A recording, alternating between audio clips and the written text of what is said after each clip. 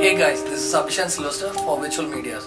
Today I'm gonna be demonstrating a video production build with our new products.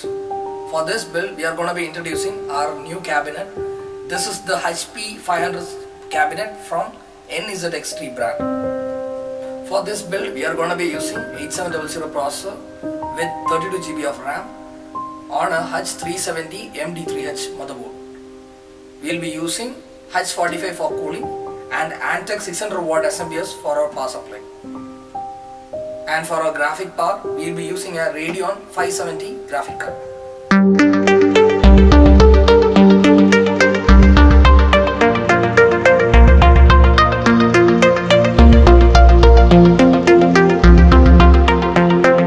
This cabinet has ample space for two SSDs and three hard drives.